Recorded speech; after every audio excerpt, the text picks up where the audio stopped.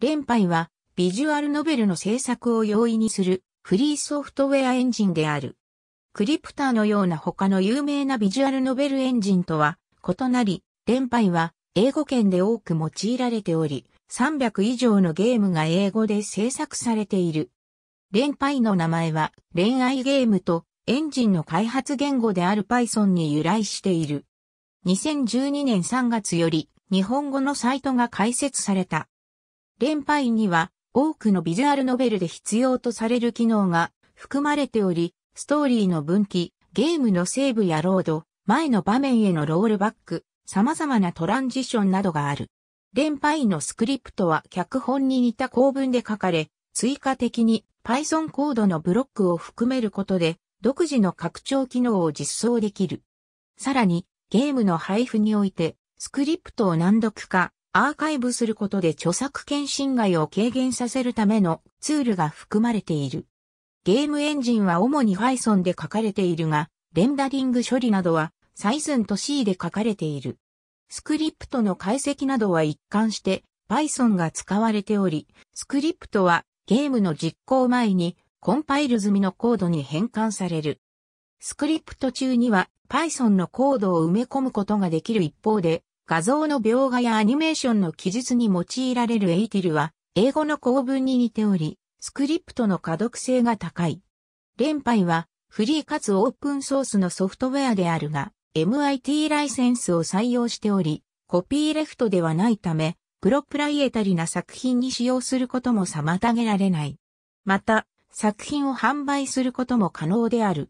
連敗に含まれている機能を用いることで、一つのゲームを多言語に翻訳することができる。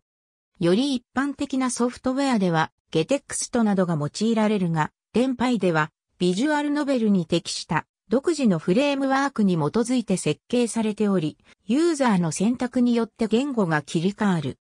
当該言語の表示には対応するフォントが必要だが、SDK にも元や LC だ3等幅などのフォントが同梱されており、利用可能なほか、作者自ら任意のフォントファイルを作品に同梱させ、配布することも可能である。画像の変換操作には、オパングルを利用しており、描画の高速化を図っている。一方で、3次元効果には対応していない。ゲームスクリプト中には、Python のコードを記述できる。ゲームの開発者は、ストーリーの分岐に欠かせないフラグの管理を Python のコードとして記述するほか、連敗に含まれていない画面効果などを実装できる。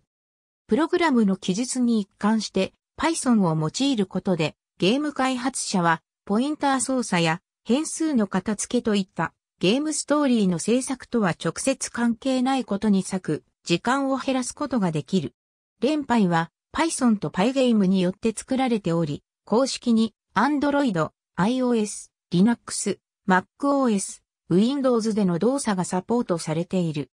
また、Arch Linux、Ubuntu、Debian、現等のリポジトリに取り込まれている。連敗のコードは、その開発言語の Python と同じように、時下げレベルが文法的意味を持っている。この理由の一つは、連敗のコードが Python のコードを含むからである。以下に最も簡単な連敗のコードを示す。ラベルスタート。エイリーン Ren'Py のゲームへようこそ。上記のコードは画面下の会話ウィンドウに話し手としてエイリーンを話す内容として Ren'Py のゲームへようこそを表示する。 Ren'Py の特徴の一つにキャラクターオブジェクトが存在する。キャラクターオブジェクトは内部的には関数として機能し、話し手の名前やウィンドウスタイルの状態などはキャラクターオブジェクトによって切り替える。Define, e イコールキャラクター。ラベルスタート。E 連敗のゲームへようこそ。上記のコードは NVL ウィンドウ上にキャラクター名を緑色で描画する。スクリプト中には Python ステートメントを含めることができ、この内部では任意の Python のコードを実行できる。次に Python のコードを含む例を示す。 label start。エイリーン Python コードを実行します。Python、 some function、任意の Python コード、エイリーン実行しました。その他の言語仕様については、 Language Basics や Quickstart Manual で説明されている。ありがとうございます。